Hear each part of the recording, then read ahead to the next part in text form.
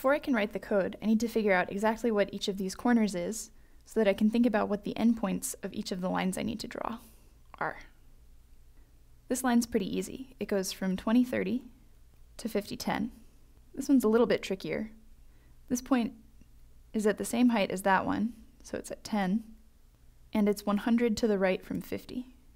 That means that its x value is matching up with this one, so that looks good. This point is 100 over from this one. So 100 plus 20, and this point gives us 120, 30, and this point is 40 down from this one. So 120 and 70.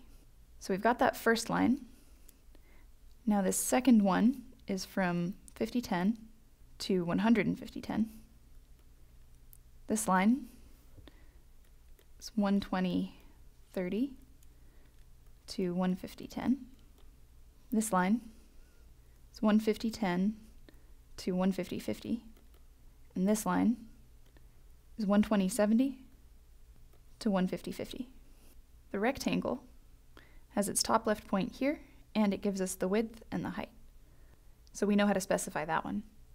Here's how I wrote the code to draw the crate. There's a rectangle, which is that front face. Top left 20, 30, width 100, height 40. Then there's that leftmost line. 20, 30 to match the point that it starts at, and 50, 10 to match the point that it ends at. Then I did the same thing with the top line, the middle line, the rightmost line, and the bottom one. Then I had to remember to draw each of these lines.